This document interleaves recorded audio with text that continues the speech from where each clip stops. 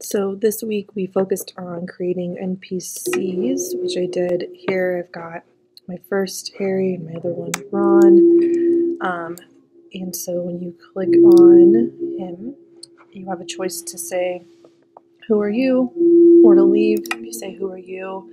He talks about how he's lost, how him and Ron accidentally touched a Portkey, which gave Ron horns and this awful outfit. And then um, he asks, Will you help us? So once again, you can leave or you can say yes. Then Harry says, Great, I'm trying to remember exactly what we stepped on. It may have been a blue piece of carpet. I think it was across the water. Have you seen it? So we haven't, but if we want to continue, we can say nope, but we'll look. Um, and so, as you can see, if you go across here, just like Harry said, click on this, get the blue carpet, and then you can see up top that you have completed the quest. Go return it to Ron and Harry so they can get back to Hogwarts, fix Ron up.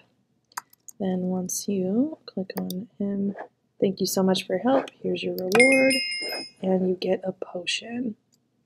So um, I wasn't able to figure out how to do the quiz pieces yet. Um, if I had some more time, I'd probably set this up in one of the imported maps with the castle, but I had a lot of fun playing with the NPCs. There's just a lot of of tediousness that went into building the dialogue in these characters.